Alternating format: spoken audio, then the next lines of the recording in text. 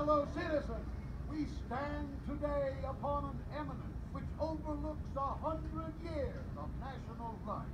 The supreme trial of the Constitution came at last under the tremendous pressure of civil war.